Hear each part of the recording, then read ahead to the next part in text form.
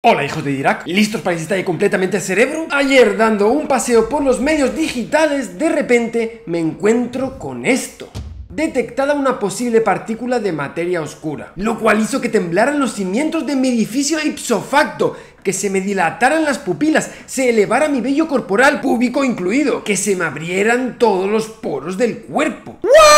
¿Se ha detectado de verdad una partícula de materia oscura? Así que me puse a investigar y esto es lo que he encontrado. ¿Será cierto? ¿Es real? ¿Es exagerado? Pues prepárense porque viene tremendo vídeo, además de mi especialidad, la física de partículas. Comienza la búsqueda de partículas de materia oscura. Entonces, acomódate en tu sofá favorito, relaja músculos y articulaciones, haz un rápido recuento de dientes, costillas, falanges y falangetes, inspira y expira, concentra toda la materia oscura de tu cuerpo.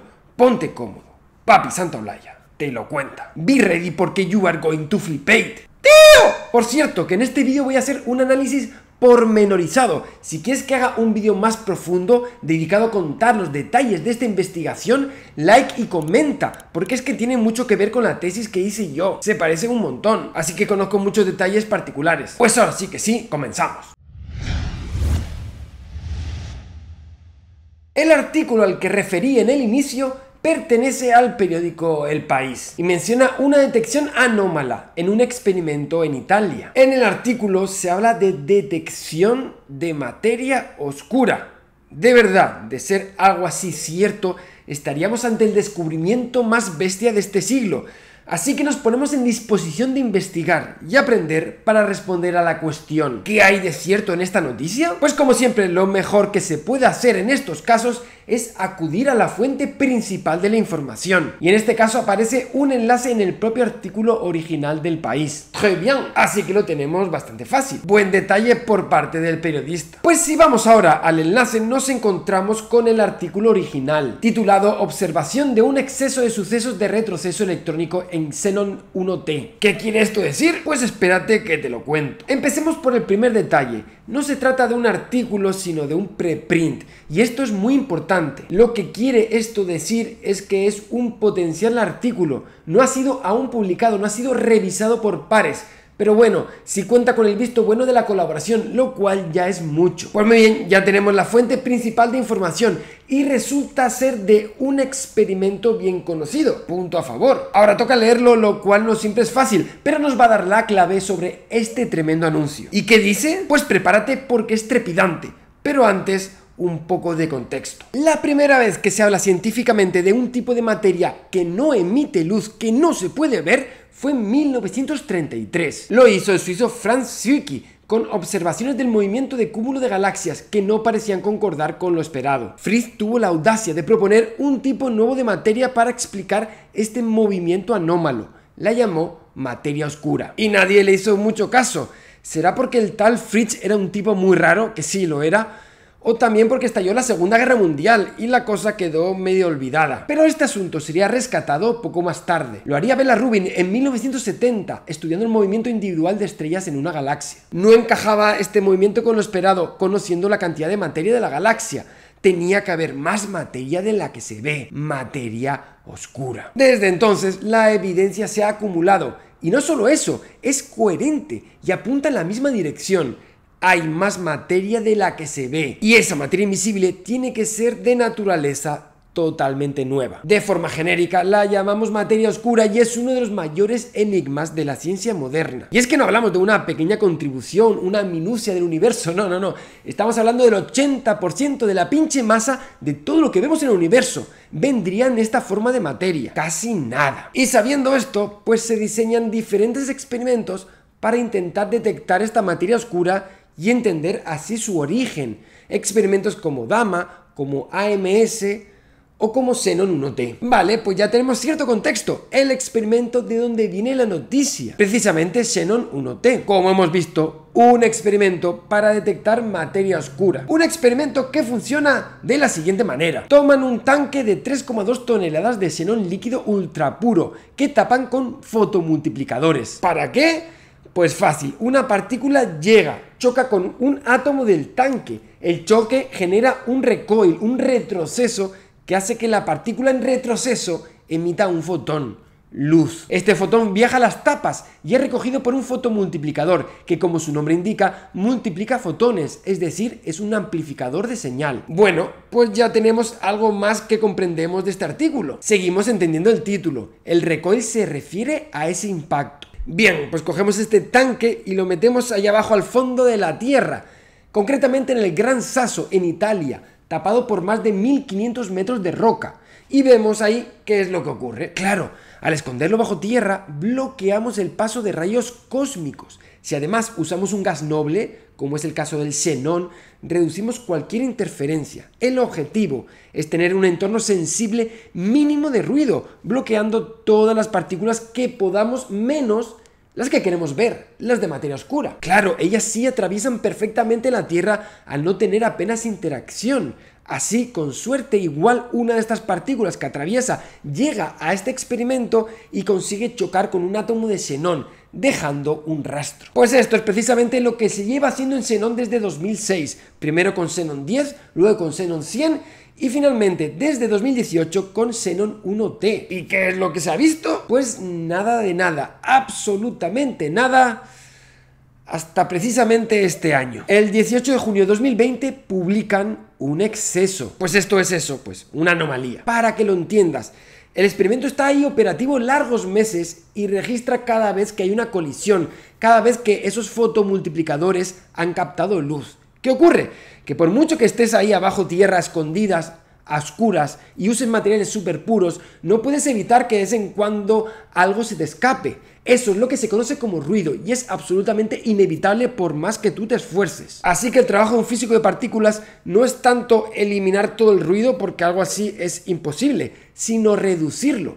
Y aún más importante, reconocerlo, saber que vas a tener ruido, lo estudias y lo entiendes. Necesitas saber todas tus fuentes posibles de ruido y cuantificarlas bien, entenderlas. Es como cuando dicen que tienes que tener a tu enemigo bien cerca, pues parecido, si controlas y conoces muy bien tus fuentes de ruido, puedes estimarlas y así de alguna forma puedes sustraerlas. Por ejemplo, supongo que tus cálculos dicen que tú esperas recibir entre 230 y 250 cuentas de ruido muy bien, lo sabes, lo controlas. ¿Y qué ocurre si sin embargo recibes 300 cuentas? ¿Qué ha podido producir esas cuentas nuevas? Pues ahí lo tienes, has descubierto nueva física. Magnific. Pues bien, ya tenemos todo lo que necesitas saber para entender lo que se ha publicado. Y es que esto es precisamente lo que ha ocurrido hace unos días en esta publicación de Xenon 1T.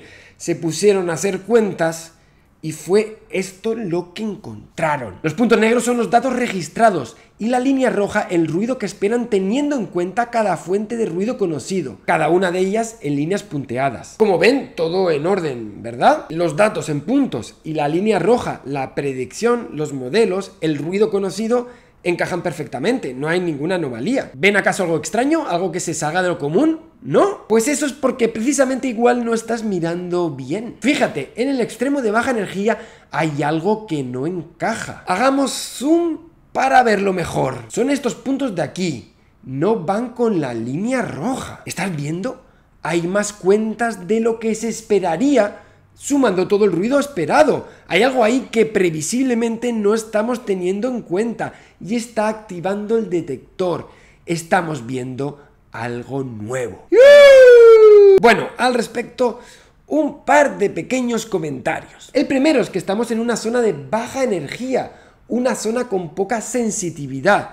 Y esto tiene efectos notables. Se dan pocas cuentas, lo que hace que los errores sean muy grandes. Por eso que no hay que fijarse tanto en el puntito negro, sino en la barra. Por ejemplo, este punto es compatible con la línea roja. Así estos puntos que no encajan tampoco se van tan locos. De hecho es normal que los puntos no encajen. Ocurre continuamente. Es lo que se conoce como fluctuación estadística.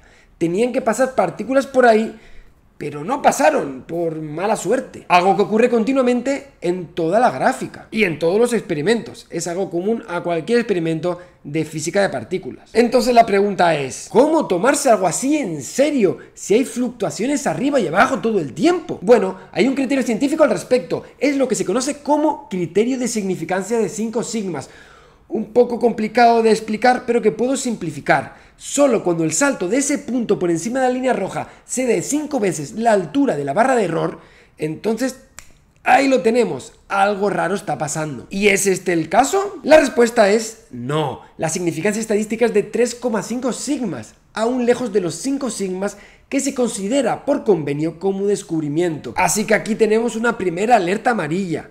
Calma, aún es pronto para decir nada. Pero esto no significa para nada que lo que se esté viendo no es interesante, porque potencialmente sí lo es. Potencialmente, ojo. ¿Y qué podría ser? Pues es en este punto en el que se ensayan modelos, teorías que podrían encajar con lo que se ve, y el equipo de Xenon 3 ha encontrado tres posibles explicaciones a esta anomalía. La primera es el tritio. El tritio es un átomo de hidrógeno pesado que es inestable y que se puede colar en baja cantidad en el detector. Con tan solo unos poquitos átomos de tritio por cada 10 elevado a 25 átomos de xenón, ya se podría explicar de esta forma el exceso. Bueno, esta explicación es un poco mierda. Otra explicación más estimulante es que estemos viendo una interacción muy curiosa de los neutrinos. En el modelo estándar los neutrinos no tienen masa y por ende tampoco tienen momento magnético.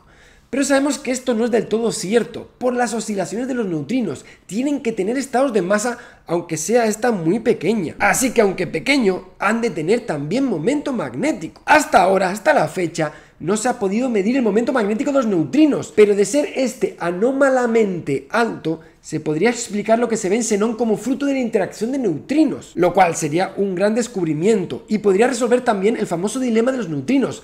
¿Son de Majorana o de Dirac. Así que esto no está nada mal. Pero hay una tercera alternativa, my friends, que es especialmente suculenta. Las interacciones débiles rompen la simetría CP, algo de lo que yo he hablado en otros vídeos. Lo extraño para los físicos no es solo que lo rompa, sino que sea la única fuerza que lo haga. Que la fuerza fuerte, por ejemplo, no rompa CP requiere de una cancelación que es, diciéndolo suavemente, poco natural, caprichosa. Pues una forma de salvar este milagro físico es invocando una nueva partícula. Sí, el acción. El acción ha sido además históricamente especialmente atractivo porque además de resolver este problema teórico, es un interesante candidato a materia oscura. Los acciones se habrían producido en el Big Bang en gran cantidad, dando cuenta de la materia oscura que vemos en el universo. Pero también el Sol podría ser una fuente de acciones, un tipo de acción diferente de los acciones primigenios, de los de materia oscura. Tendría más masa y con propiedades físicas similares. Pues ahora en este punto se puede hacer algo interesante, añadir estas tres explicaciones posibles por separado al modelo de predicción de ruido